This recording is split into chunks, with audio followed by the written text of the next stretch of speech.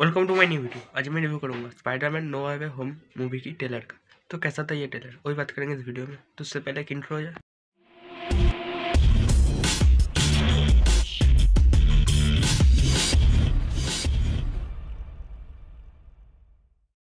ये टेलर तो एकदम ही फाड़ो निकला सुपर टेलर है, ठीक है?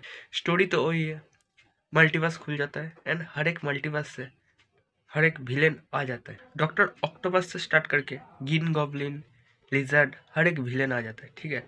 और हर एक विलेन को जिस तरह से इंट्रोड्यूस किया है ना, वो भी सुपर है। और अब क्या करेगा अपना स्पाइडरमैन हर एक विलेन से लड़ पाएगा या नहीं?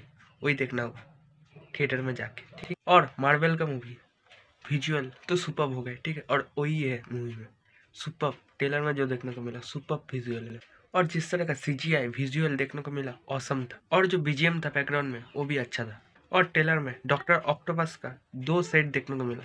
ठीक है, अब देखना होगा डॉक्टर ऑक्टोपस का कैरेक्टर कैसा होता है मूवी में। और मूवी का प्लॉट वाइज वी वाइज हर एक चीज़ वाइज सुपर है। ठीक है टेलर के लास्ट में जो देखने को मिला, वो औसम अमेजिंग था। ठीक और डॉक्टर स्ट्रेंज एंड स्पाइडरमैन का जो फ्लैश देखने को मिला टेलर में, वो भी अच्छा था। मतलब हर एक चीज़ टेलर में देख के मज़ा आया। हर एक चीज़। और जो टेलर कटिंग है, वो भी बहुत अच्छे तरीके से किया है। एंड इस मूवी के लिए सच में बहुत ज़्यादा एक्साइटेड हूँ मैं।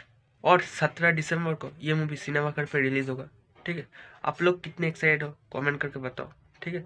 और मैं तो एक्साइटेड हूँ। और ये था, ये वीडियो चलो वीडियो को like share and comment channel को सब्सक्राइब कर देना। मिलते हैं नेक्स्ट वीडियो के साथ, तब तक के लिए टाटा बाय